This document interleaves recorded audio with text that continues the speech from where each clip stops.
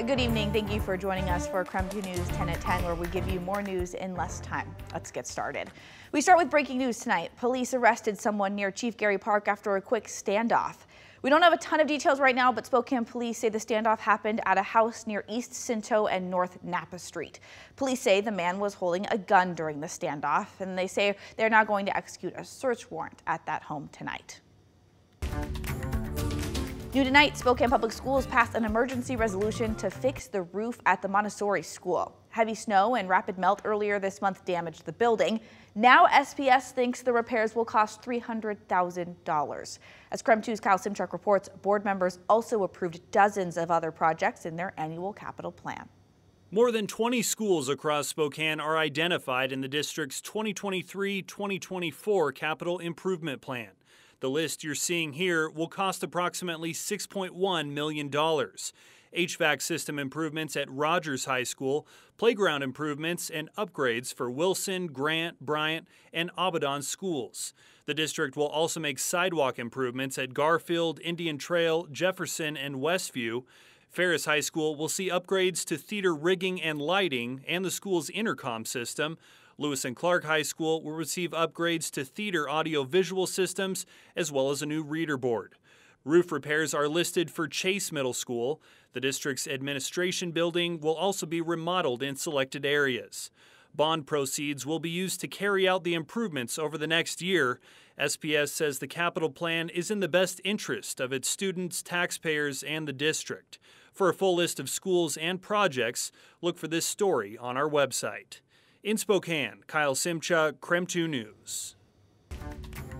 Well, Jackson State took on the Zags in the kennel tonight. Sports director Travis Green joins us live in studio with the highlights. What's up, Travis? Hey, Nicole. Gonzaga men's hoops has hit a bump in the road of late. A pair of losses out in Seattle as the Bulldogs have gone one and two over the past three games. But Graham Ike and crew back in the kennel tonight, as you said, hosting Jackson State, and there's no place like home. Former NBA guard Mo Williams in the house. Williams took over as head coach of the Tigers in 2022. Tough one to watch for Mo from the opening tip.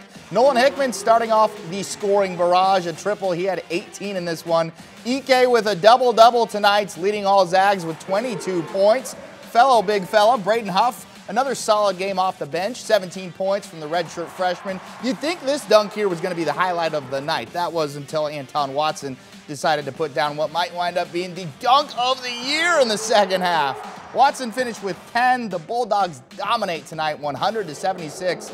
Mark Few credits the big fellas attacking the rim for the turnaround.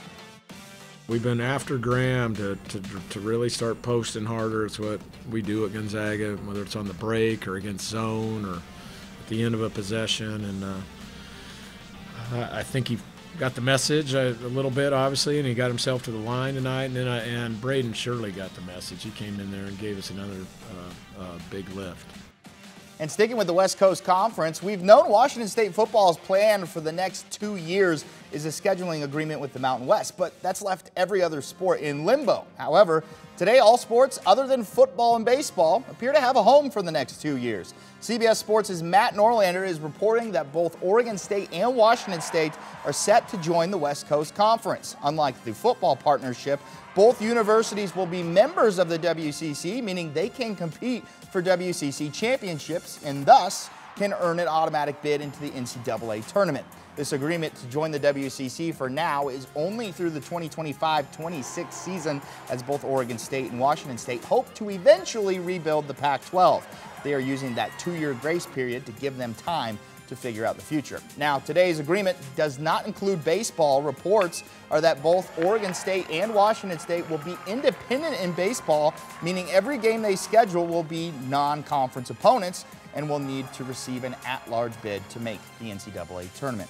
And with Washington State set to join the conference, that means we will finally be getting a WSU and Gonzaga men's basketball matchup for the first time since 2015. I know that's something our basketball fans will be thrilled to have take place. Nicole? Thank you, Travis. Taking a look overseas now, we know more about a major prisoner swap between the U.S. and Venezuela. Venezuela released 10 Americans today, a few who the U.S. said they were detaining illegally. In exchange, the U.S. gave Venezuela one of their president's closest allies. Officers here arrested Alex Saab three years ago on a U.S. warrant for money laundering. Biden is defending the move tonight. It's okay because we're freeing American people who are held illegally, and we made a deal with Venezuela that they'll hold free elections. So far, they've maintained their requirements. Uh, people on both sides of the aisle did not approve of this swap, though. New Jersey Democratic Senator Menendez says the president shouldn't have negotiated the deal in secret, and Florida Republican Marco Rubio called the deal, quote, disgraceful. The Colorado Supreme Court issued a ruling to ban former President Donald Trump from the state's primary election ballot. They say what Trump did on January 6th disqualifies him from being president again.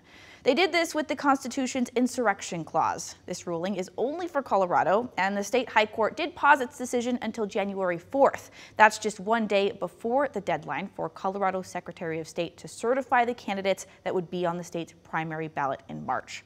Experts say this is an early step for courts to use what happened on January 6th to keep Trump off the ballot for the 2024 election. And that was Colorado state law ruling, and it may it may be something that is outside of the purview of the United States Supreme Court, which can only take up federal and constitutional issues. Trump is planning on appealing this decision. All right, let's switch gears, talk about weather with our chief meteorologist, Jeremy LaGoo. Jeremy, winter solstice eve. It is literally winter eve right now. Uh, I know we're talking about warmer temperatures during the day, but are we staying cooler overnight still? Uh, I think we actually get a little bit cooler overnight, especially as we get into the weekend. But right now, it's all about the mild temperatures and fog. 38 degrees, but look at the dew point here, 36. I always say those winds are calm and the temperatures and dew points are within a four degree range of each other. You're looking at patchy fog, and we've got it, and it is dense. Much of Spokane County, all the way out into the Columbia Basin and all the way down through the Palouse, is dealing with a dense fog advisory. That will last through 11 a.m. on Thursday, and visibility has dropped over in Idaho all the way up into Sandpoint and across much of the region. Tomorrow, going to kind of be the foggiest day of the next few. We'll eventually see an overall shift in the weather pattern that brings about a little bit of a chance of rain and snow. For us here in Spokane, what starts out as a little bit of rain looks like it'll transition into snow as we get a little top-down cooling. We'll have a closer look at that coming up in the full forecast, but what you need to know is that tomorrow winds up foggy and then mild through the rest of the week. Thank you, Jeremy. Now to Night Beat with a quick look at the day's top stories. The former Idaho State Trooper accused of murdering his wife two years ago is now out of jail after posting a $1.5 million bond. 57-year-old Daniel Charles Howard turned himself into the Kootenai County Sheriff's Office in May. Back in February of 2021, Howard had said his wife, 48-year-old Kendi Wilkins, shot herself. But detectives say they did not find evidence of a suicide, saying instead it actually looked more like a homicide. Howard has to wear an ankle monitor now while he waits for his trial, which is scheduled for March. A judge says prosecutors can ask for the death penalty for Chad Daybell, the man accused of murdering his ex-wife and his current wife's kids. Court documents say Daybell's attorneys asked the court to take the death penalty off the table because his wife, Lori Vallow, didn't have to face that punishment.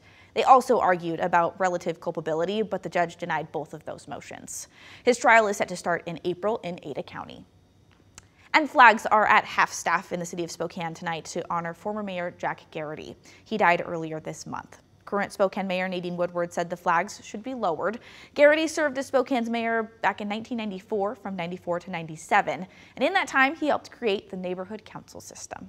That was your night beat. To learn more about any of those stories, you can head over to our website, krem.com. And that was KREM 2 News 10 at 10, where you get more news in less time. But